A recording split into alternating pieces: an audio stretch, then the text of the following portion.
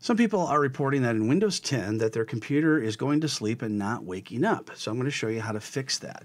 Now this has to do with a Windows 10 update and sometimes has to do with a certain type of video card along with that update. So let's fix that. So what we want to do is we want to start off by going to our control panel. So we need to go into our search bar, type in control panel and hit enter.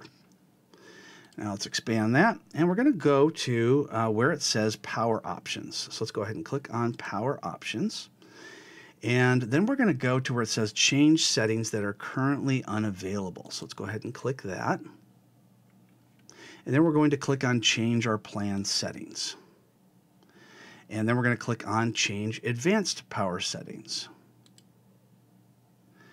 And then what we're going to do is we're going to go to where it says Sleep.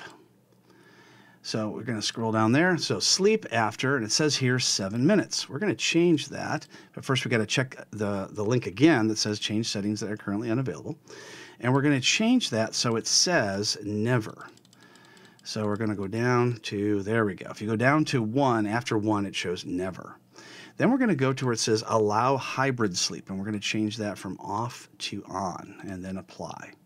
Now we have one more thing we got to change. So let's go back to control panel items that you see here.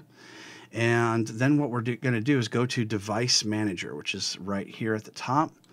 Click on Device Manager.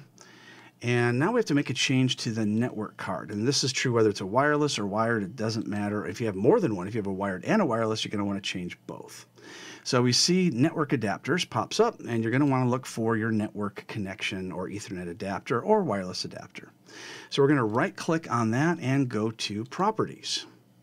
Now we're going to go to the top to where it says Power Management.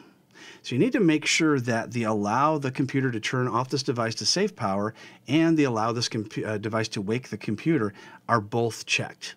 If one of them's checked or neither of them's checked, this won't work. So let's go ahead and cancel that. And you want to do the same thing to any other Ethernet adapter you have. If it doesn't show a power management option, then you don't have to worry about it. It's not going to be an issue. All right, so once those are all checked and you've changed, so sleep is never and hibernation is turned on, then you should no longer have an issue with your computer going to sleep and not waking up.